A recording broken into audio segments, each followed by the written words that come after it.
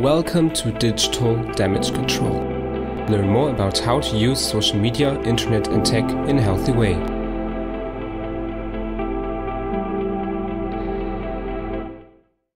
Hey there, I'm Timon. This is Social Media, Internet and Digitalization, the series. We will talk about how digitalization contributes to the occurrence of mental disorders. What on earth is digitalization, you might ask yourself. Okay, it's actually not that complicated, I will explain it to you now. So it's the increasing use of social media and internet in our everyday life and also the increasing importance of those things. If you want to know more about the different definitions of digitalization, then you might want to look at my last video where I talked about physical health, but also about digitalization. Social media and internet become more and more relevant in our everyday lives. We depend on them and we use more and more time for them. That's why it is important to look at them. But I think the real question is, what mental disorders will we look at? So actually we will look at everything.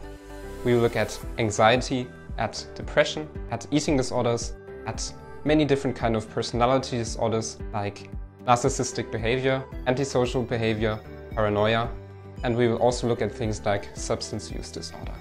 And how will we do it? In the first step, we'll look at mental health risks that come with digitalization. In the second step, I will offer you advice for preventing such things. But it is important to look at two different sides or to keep two different sides in mind when looking at it. The first one being the content creators and the consumers.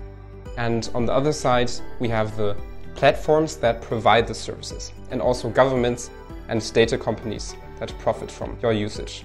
We need those two things to get an overview over how mental health and digitalization are linked to each other.